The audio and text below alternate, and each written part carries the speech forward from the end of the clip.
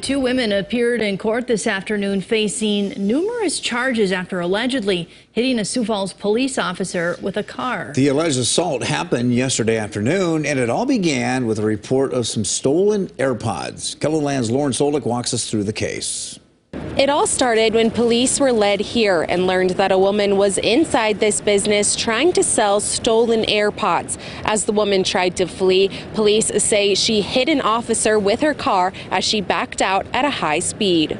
That ended up dragging the officer on the ground for a short distance, and then she tore out of the parking lot.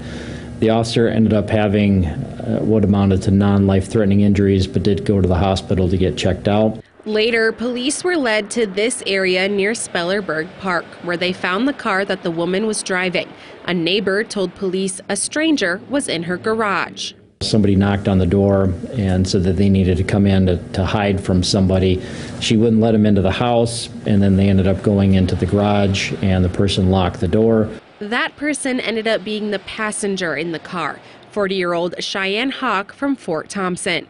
When officers finally got her out using a battering ram, Hawk was charged with fleeing police, trying to hide a crime from authorities, having drugs, and a stolen car. Authorities found the driver of the car hiding in the basement of a nearby home. Somebody called in and said that there somebody was in their house. That was in the 1200 block of Southwestern Avenue. And then the other suspect, the driver of the car, was found in that house. The driver turned out to be 26 year old Jonielle Wells of Aberdeen. She's charged with burglary, possession of stolen property, aggravated assault on an officer, along with several other charges. And just like the AirPods that started it all, police say the car the two women were using was also stolen. In Sioux Falls, Lauren Soulek, KELOLAND News.